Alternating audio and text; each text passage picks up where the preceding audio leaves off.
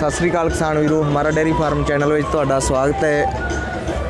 ਆਪਾਂ ਆਏ ਯੂਨੀਵਰਸਿਟੀ ਲੁਧਿਆਣਾ, ਇੱਥੇ ਤੁਹਾਨੂੰ ਪਰਾਲੀ ਵਾਸਤੇ ਜੋ ਪ੍ਰਬੰਧ ਇਹਨਾਂ ਨੇ ਕੀਤੇ ਆ, ਜਿਹੜੀਆਂ ਮਸ਼ੀਨਾਂ ਬਣਾਈਆਂ, ਉਹਦੇ ਬਾਰੇ ਤੁਹਾਨੂੰ ਜਾਣਕਾਰੀ ਦਵਾਂਗੇ। ਇਹ ਹੈਗਾ ਜੀ ਪਰਾਲੀ ਚੌਪਰ।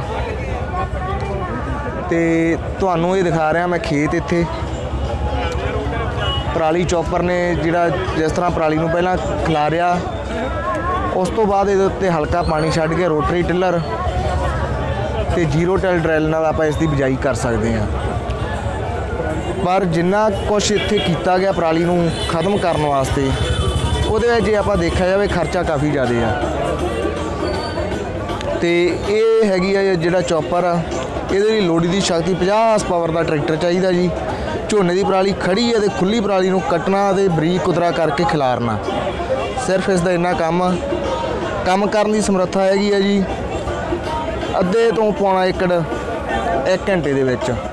ਹੁਣ ਇਹਦਾ ਜਿਹੜਾ ਇਹ ਜਿਸ ਤਰ੍ਹਾਂ ਪਰਾਲੀ ਨੂੰ ਖਿਲਾਰਦਾ ਵਾ, ਜੋ ਇਹਦਾ ਕੰਮ ਆ, ਤੁਹਾਨੂੰ ਉਹ ਦਿਖਾਉਨੇ ਆ ਵੀ ਇਹ ਕਿਸ ਤਰ੍ਹਾਂ ਇਹ ਪਰਾਲੀ ਨੂੰ ਖਿਲਾਰਦਾ। ਇਹ ਚੌਪਰ ਨਾਲ ਖਿਲਾਰੀ ਹੋਈ ਪਰਾਲੀ ਆ, ਜੋ ਕੁਤਰਾ ਕਰਕੇ ਇਸਨੇ ਖਿਲਾਰ ਦਿੱਤੀ ਆ। ਇਹ ਮੈਂ ਤੁਹਾਨੂੰ ਤਿੰਨ ਸਟੇਜਾਂ ਦਿਖਾ ਰਿਹਾ ਵਾਂ। ਇੱਕ ਦਾ ਚੌਪਰ ਨਾਲ, ਜੋ ਪਹਿਲਾਂ ਪਰਾਲੀ ਨੂੰ ਕੁਤਰਿਆ ਗਿਆ। ਉਸ ਤੋਂ ਬਾਅਦ ਇਸ ਨੂੰ ਵਾਇਆ ਗਿਆ ਇਸ ਤਰ੍ਹਾਂ। ਤੇ ਉਸ ਤੋਂ ਬਾਅਦ ਇਸ ਦੇ ਉੱਤੇ ਇਸ ਤਰ੍ਹਾਂ ਪਾਣੀ ਛੱਡਿਆ ਜਾਂਦਾ ਵਾ।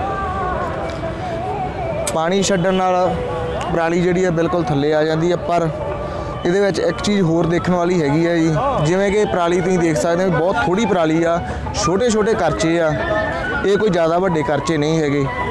ਜੇ ਆਪਾਂ ਆਪਣੇ ਝੋਨਿਆਂ ਦੀ ਗੱਲ ਕਰੀਏ, ਆਪਣੀਆਂ ਫਸਲਾਂ ਦੀ ਗੱਲ ਕਰੀਏ, ਤਾਂ ਫਸਲਾਂ ਭਾਰੀਆਂ ਹੁੰਦੀਆਂ ਬਹੁਤ ਜ਼ਿਆਦਾ, ਪਰਾਲੀ ਬਹੁਤ ਜ਼ਿਆਦਾ ਬਣ ਜਾਊਗੀ।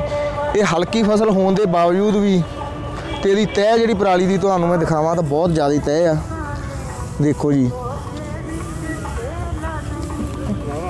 ਇੰਨੀ ਤਹਿ ਹੈ ਜੀ ਇਸ ਦੀ ਤੇ ਜੇ ਆਪਣੇ ਖੇਤਾਂ ਦੀ ਗੱਲ ਕਰੀਏ ਤਾਂ ਇਸ ਤੋਂ ਪਰਾਲੀ ਦੀ ਤਹਿ ਡਬਲ ਹੀ ਹੋ ਜਾਣੀ ਆ।